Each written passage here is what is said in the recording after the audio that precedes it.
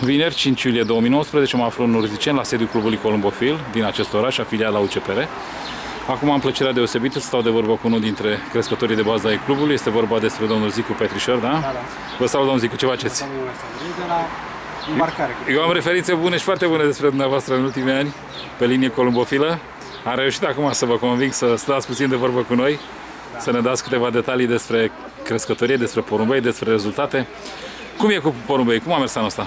Anul ăsta nu prea a fost un an foarte strălucit. Dar nu, nu cred că a fost pentru cineva un an am bun. început cu 60 de porumbei și mai am 38. Am pierdut foarte mulți porumbei la primele două etape. Cred Tin, că tineri sau bătrâni? porumbei tineri. Tineri, nu? Noi am antrenat anul trecut și s-a văzut. A, deci toamna trecută nu i-ați dus. Anul trecut nu i-am dus. Cine a antrenat porumbei la club s-a văzut și au venit tinerii în față. Am zburat șase etape cu ei și am oprit, nu i-am mai băgat că am rămas cu puțin porumbei. Mă bazez pe porumbei acum de 2017 și Deci, câțiva practic, de ați, ați 2016. jucat cu porumbei maturi acum. Jucați... Anul trecut, aia de 2017, am zburat trei etape și am oprit acasă și văd că a fost bine. Am avut mulți tardivi, am împerecheat și târziu. Și sunt mulțumit cum au venit acum, au început să se arunce, dar păcat că mai sunt uh, patru etape Da, așa e. în sezon. Câți porumbei creșteți? Aveți mulți acasă? Am 220-230 de porumbei, am Aveți. 100 de pui, uh, 30 de prei la matcă și restul la zbor. Ca și origini păsările? Uh, De am unde? avut porumbei de fond și maraton, porumbei de la Nicu Bistrigheanu, dar de câțiva ani de zile mă acces pe viteză și, și de mifon. Am porumbei de la domnul Cazacu, Van Dijk, Kuhman, cei au mers dânsul de porumbei care am luat la licitație și am mai cumpărat niște porumbei de la domnul de la București, cum îl cheamă, a zburat cu noi. Am un lapsus. Da, nu contează, da. Tot de viteză de mifon, nu? de viteză de mifon. Am porumbei cu domnul Soare, Soarea Florin, în, Florin, uh, Sorin da, Florea, au nu? avut porumbei împreună, în aceeași locație. Ah, nu știu, da. Da. Și au început să vină. Văd că porumbei cei mai, cele mai bune rezultate am avut când am zburat pe munte. Pe munte, vă Atunci de am munte, nu? avut, uh, Am avut multe locuri de unul pe mașină, când am zburat cu Cosmin Olteanu. Cu toate că vedeți, ruta de munte e ce Da, mai dificilă când decât... Am zburat uh, atunci, chiar am avut, uh, aveam locuri de unul, cred că 3-4 etape am avut locuri de unul. Super! Dar acum s-au schimbat, sunt mulți porumbei, sunt uh, o grămadă de crescători care și o grămadă de cluburi și porumbei se pierd, la primele etape se pierd. Da. Vă mai ajută cineva acasă cu porumbei? Da, un, uh, am un băiat care se ocupă de ei, că eu nu prea am Ah. timp să mai mult plecat, dar trebuie să fii lângă ei tot timpul, să mai îmbolnăvesc, că apar bolile la pui acum, Da. da. Ecoli, trebuie să urmăresc. Pasiunea asta columbofilă de la cine moșteniți din familie? Aveți pe cineva, vreo rudă? Mi-a adus tata doi porumbei când eram mic, aveam 6 sau 7 ani și de atunci... Și de atunci? Am renunțat la ei 3 ani când am fost la facultate și după aia m-am luat, m-am luat iară de ei. E frumos. Acum, în timpul sezonului de concursuri, când uh, trebuie să stați mai mult printre ei, cam cât timp vă permiteți? Dimineața Să le acordați de la pre- 6 până pe la 9 și seara de la 5 până la 8 și ceva. Nu, Zburați văduvie natural? nu zbor văduvie, dar mă bate gândul la nu să zbor natural. Vreau să încerc și treaba asta. Văd că de câțiva ani de zile văduvia nu prea mai nici știu Și, cum și e, cum nici- ascult și cu femeile? și cum ascult și cu femeile. Totală, nu? Da. Femeile îmi dau mai multe rezultate. Vă înțelegeți mai bine cu ele, nu? Se motivează mai bine, probabil. Da, nu i-am, am de vreo trei etape, chiar nu i-am le-au arătat nici femeile, nici masculin, le-am lăsat să vadă și văd că vin mai bine decât când le dădeam drumul și se vedeau înainte de îmbarcare. Da.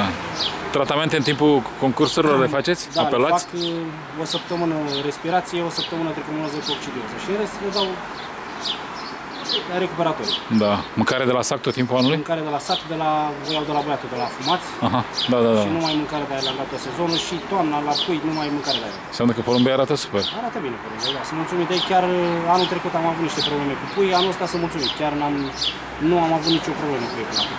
Pedigreilor la porumbei ce importanță le acordați? Sunt ele foarte importante pentru noastră? Când vă formați, de exemplu, primăvara perechile de matcă? M-am orientat și după pedigree de multe ori, dar nu prea mi-a ieșit. Eu am perecheat ultimul timp la mână, la... Și la mână, nu? Urmăriți la mână, compensații da, fizice? Da, da, da. Mă uit mult la chestia asta.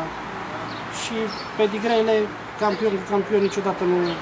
Am văzut că nu iese un Nu campion. prea iese, nu? Nu. Da. Da, am avut porumbei și mai am de la Neanicu, porumbei de, de Din- fond, dar nu prea am jucat categoria asta. Am încercat și eu anul ăsta la prima etapă și am băgat șapte porumbei, mi-au venit trei. Și am băgat E și la bine, a doua după etapă câți ani? Și... Ah. Nu, joc, am jucat, am băgat în fiecare an porumbei. la A, da, la- numeric mare. Nu numeric mare, joc până în 10 porumbei. Taliile la porumbei cum vă place să fie? Mai mi- medii, nu? Am avut porumbei mai mari de mai mari și i-am pierdut. N-au Cu- venit. culori- Am rezistat primele două, trei etape și după Și aia n-au mai venit. Culori preferate la ei? Nu, am mulți albaștri guți, dar mai am și unii bălțați care îi țin pentru fată. Îi plac foarte mult culorile astea și vreo doi albi. Nu i-am băgat niciodată la zbor, că îi plac ei și ea se ține acasă. Că dacă îi pierd, începe și prima. Familia vă înțelege pasiunea Da. asta pentru porumbei? Nicio treabă, nu. Vă lasă, nu? Ține și coteți și în astea am băgat bani mulți. Da, asta e o pasiune, trece timpul, nu mai distrăm decât să facem alte lucruri, eu cu porumbei. Cele mai bune rezultate în cariera noastră columbofilă la ce categorii au fost? Le-am avut, v-am spus, când am jucat pe Pe munte? Ardeal, atunci am avut uh, la viteză de micro. Viteza de mifondul, nu? Acum uh, vin porumbei, leg câte ceva, dar nu... Nu se, Acum înche- și nu la se încheie voi, cum ar la- trebui. Și la noi la club suntem și jucăm când jucăm, suntem și ultimii, ultima stație Da, e greu. și să rotez porumbei. Nu vin, uh, am văzut că vin două, trei etape și după aia să rotez. Nu vin porumbei să fie constant, să poți să legi ceva cu ei. A- Anul ăsta ați reu- reușit să țineți masculi în Am- formă? Având în Acum am vedere intrat în formă masculă. fluctuațiile astea de temperatură, Acum, ploi, De etapa trecută am să- simt că sunt, sunt în formă. Până acum nu iau. Femeile Da. au venit în față tot timpul. Văd etapa asta ce se întâmplă, am câțiva masculi că câți ați băgat acum? uh, 25 de porumbei. Da. Am început cu 60 și am mai oprit acasă câțiva pentru fond. Vreau să-i bag săptămâna asta la fund. Vedem ce iese. Încercați tot, nu? Încercăm tot. Vedem ce iese. Până la urmă, urmei trebuie să încercăm și asta. Corect. Poate de la anul ne luăm pe treaba asta. La finalul anului 2019, când se trage linie, ce v-ați dori să obțineți? Ce rezultate la ce Eu categorii? mi-aș dori să obțin multe rezultate, dar anul ăsta e cam greu. Nu cred că E greu, o nu? să se lege ceva. Da. De fapt, nu știu cine leagă. Sunt porumbei că vorbesc cu colegii mei, să rotez tot timpul. Chiar dacă vin locul 1, locul 2, nu vin aceiași Cine este, este de întâmplare, probabil, sau o Mai conjunctură sunt din patru asta. etape, poate să leagă ceva, nu se știe. Da, dar vedeți cum mai cre- scade numericul Scade numeric, în ultimele după patru cum etape. Putem să ne luăm uh, punctele că suntem membri, nu suntem 20 de membri și trebuie să ne luăm pe lansare, să rotez. Și noi batem, bat și deci mă Și bă, răcinem, da, așa e. vedem ce o ieși, mergem înainte. Vă mulțumesc foarte mult pentru amabilitate. Și eu la fel. Și vă doresc aștept toate cele cu bune, vizită domn la mine Petrișor. într-o zi când ne vestim. Trec toate cele bune, vă doresc Mulțumesc. numai bine.